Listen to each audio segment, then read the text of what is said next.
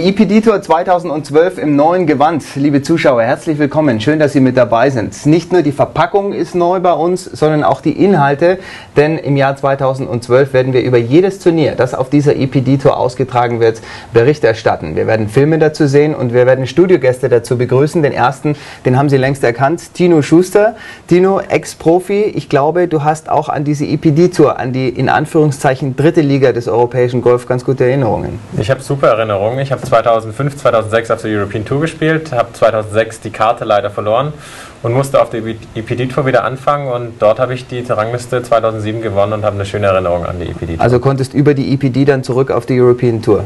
Konnte ich wieder zurück, äh, erstmal auf die Challenge Tour, ähm, dann 2008 wieder auf die European Tour, aber es ist ein gutes Sprungbrett für die ganzen jungen Spieler.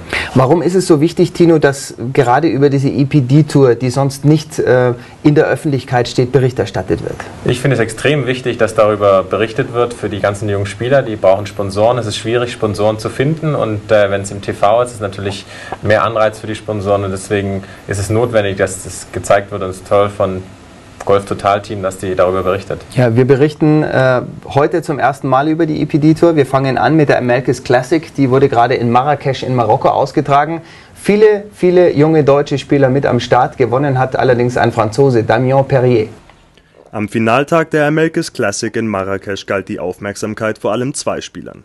Dem Portugiesen Taigo Cruz und dem 22-jährigen Damien Perrier aus Frankreich. Dieser erwischte jedoch auf seiner Schlussrunde keinen sonderlich guten Start, der Professional aus Rennes kassierte direkt an Band 2 sein erstes von insgesamt drei Bogies. Für Cruz lief es da besser, nach Bahn 15 führte dieser immer noch mit zwei Schlägen Vorsprung. Doch dann wachte der Franzose auf und so lagen beide Spieler nach dem nächsten noch plötzlich bei 8 unter Paar weiter an der 17 sowohl Cruz als auch Perrier, beide mit dem Paar am vorletzten Loch.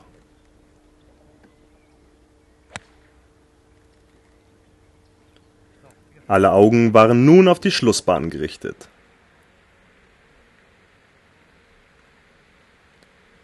Damien Perrier auf dem Grün mit der Chance, den Sack zuzumachen. Doch den Eagle Putt verpasst er nur um wenige Zentimeter. Somit ging es bei Gleichstand ins Playoff. Und Taigo Cruz zeigt hier Nerven. Den Birdie-Putt nicht verwandelt, das Tap-In zum Birdie für Perrier daher nur noch Formsache. Damien Perrier sichert sich den Titel der America's Classic 2012 und darf sich zudem über einen Scheck in Höhe von 5000 Euro freuen.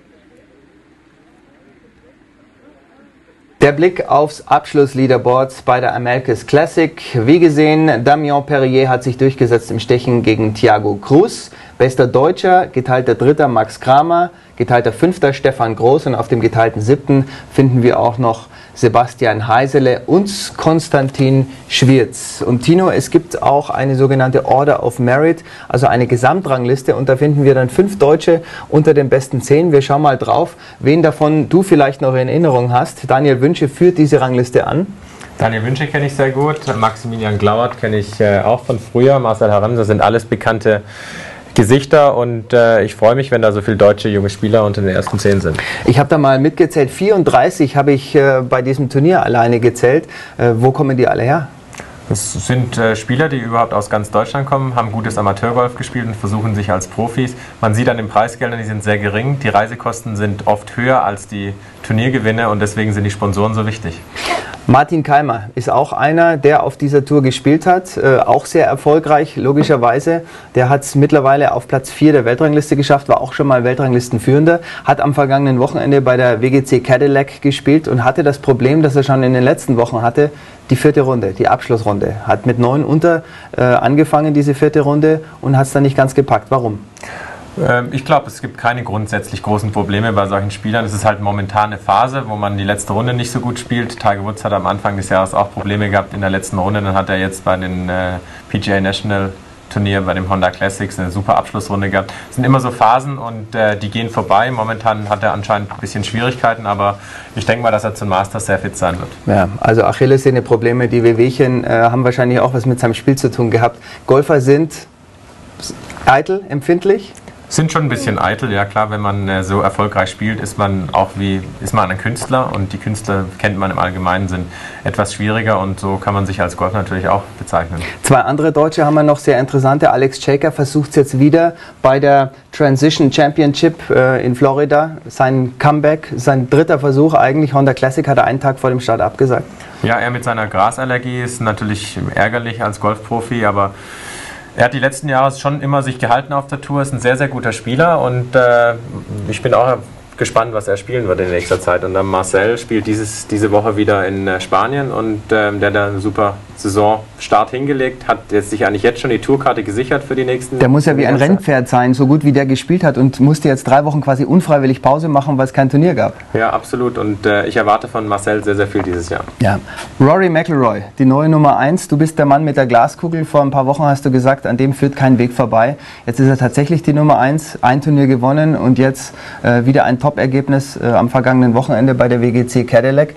Hält er sich lange da oben? Ähm, Rory wird sich sehr, sehr lange da oben halten. Ich habe schon gesagt, er hat mit die beste Technik, schlägt den Ball am längsten, kann super putten, ist ein kompletter Spieler.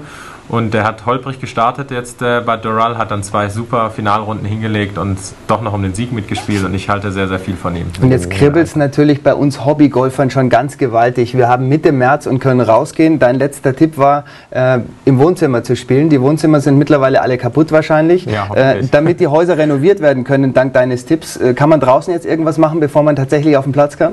Ja, jetzt würde ich den Leuten empfehlen, draußen zu spielen. Jetzt wird es ja langsam warm und ähm, ich kann jedem nur empfehlen, wenn er auf die Range geht, nicht einfach irgendwie quer Bälle auf die Range zu hauen, sondern dass er sich einen Schläger zwischen Füße und Ball legt, damit er so ein bisschen die Richtung ähm, anversiert, wo er hinschlagen will und dann kann man schon sehr, sehr viel lernen in der Zeit. Mehr Tipps äh, von Tino Schuster gibt es bestimmt in den nächsten Wochen und natürlich auch eine ausgedehntere Berichterstattung über die Turniere auf der IPD-Tour. Das soll es fürs Erste gewesen sein. Danke fürs Interesse. Servus, machen Sie es gut. Bis zum nächsten Mal.